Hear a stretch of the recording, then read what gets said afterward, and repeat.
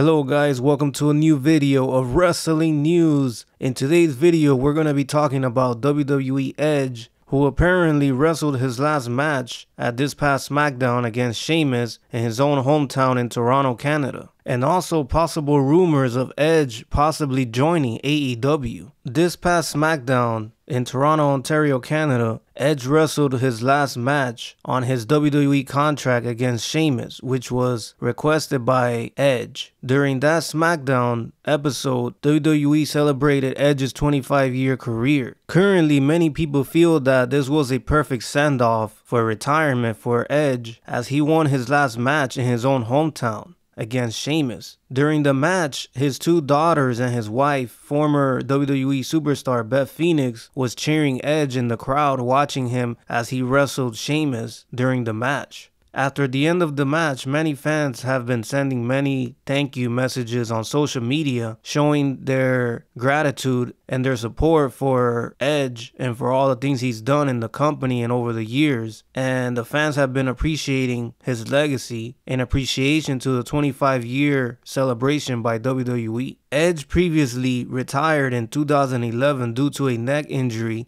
and he was also inducted into the WWE Hall of Fame around 2012. During the end of the match, after Edge defeated Sheamus, which has appeared to be his final match in his current WWE contract, Edge addressed to the crowd in Toronto that he doesn't know what his future holds and that he feels that he has to discuss with his family on what is next for his future plans in the world of professional wrestling. Now, this is believed that Edge made this announcement as his contract is expiring at the end of September. Currently, many sources and people behind the scenes are thinking that Edge might jump ship to the AEW brand now that his contract is expiring in WWE. And sources are reporting that they feel that there's a possibility that Edge might appear at this upcoming AEW All In show in London, England. Time will tell whether Edge will join the AEW brand or this is actually Edge's truly final retirement in professional wrestling.